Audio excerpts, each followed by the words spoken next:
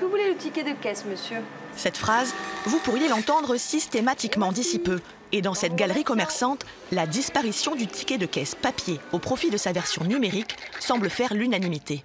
Franchement, les tickets de caisse, à chaque fois, moi, perso, je me retrouve plein le portefeuille. Euh, quand on n'a pas de change à faire ni rien, ça ne sert pas à grand-chose. C'est une très bonne idée. Parce que les tickets, on les perd. Tandis que sur euh, le portable, ils sont toujours là. De toute façon, je les retrouve sur Internet si jamais j'ai besoin de, de, les, de faire un échange ou autre, ou une réparation.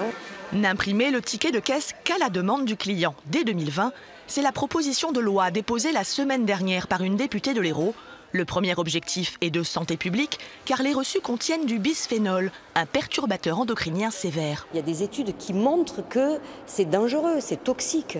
Euh, donc qu'est-ce qu'on fait? On continue à, dire, eh ben, moi je veux mon ticket de caisse, et, peu importe si, euh, euh, y aura des conséquences sur la santé publique ou euh, ben, finalement, moi, je veux bien avoir mon ticket de caisse euh, sur mon, smartphone parce qu'aujourd'hui, euh, c'est l'évolution, c'est la vie, c'est les nouvelles technologies.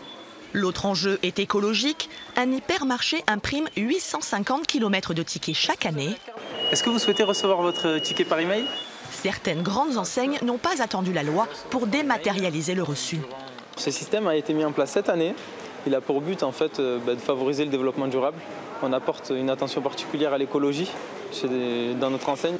En cas d'adoption de la loi, le client aurait encore le choix de repartir avec ou sans son ticket, une première étape avant de peut-être s'en débarrasser définitivement.